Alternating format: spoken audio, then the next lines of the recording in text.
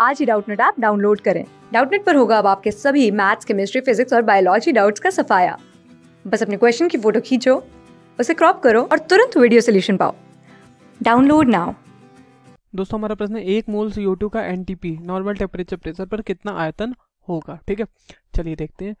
तो अगर हमें किसी भी गैस का, ठीक है, आयतन निकालना है, ठीक है तो जो आयतन निकालने का, यहाँ पर सी गैस है, ठीक तो आयतन निकालने का जो सूत्र होता है, वो क्या होता है? वो हमारा होता है नॉर्मल टेम्परेचर प्रेशर पे एक हमारा वॉल्यूम होता है, एक हमारा आयतन होता है। वो कितना होता है? बाईस दशमलव चार लीटर होता है। और यहाँ पर क्या होता है? एन एन का गुणा कर देते हैं। एन क्या है? अभी बताता हूँ नंबर ऑफ़ मोल मूलक संख्या, ठीक है? बाईस दशमलव चार लीटर, ठीक है? एल क्या है? लीटर। यहाँ पर एन जो है स्मॉल एन ये क्या है? मोल की संख्या, ठीक है? इतना चीज़ आपको ध्यान में रखना है। मोलों की संख्या क्या है? एन है। ठीक है, चलिए, ये हमारा सूत्र हो गया। अब हमें क्या करेंगे? अब हमें यहाँ पर देखो कितना मूल दिया गया, बच्चों, यहाँ पर एक मूल दिया गया, ठीक है? तो एन की जगह हम क्या रख देंगे? एक रख देंगे। एक गुड़े बाईस दशमलव चार तो कुल कितना आ जाएगा? एक गुड़े बाईस दशमलव चार, कितना आ जाएगा? बाईस दशमलव चार लीटर, ठीक है? कितना आ जाएगा? बाईस दशमलव चार लीटर।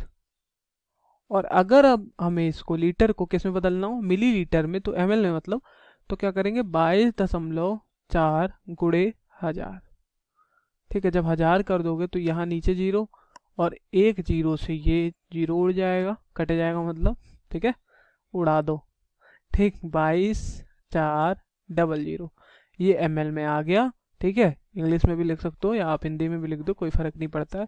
दो दो, चार, डबल ज़ीरो मिली लीटर।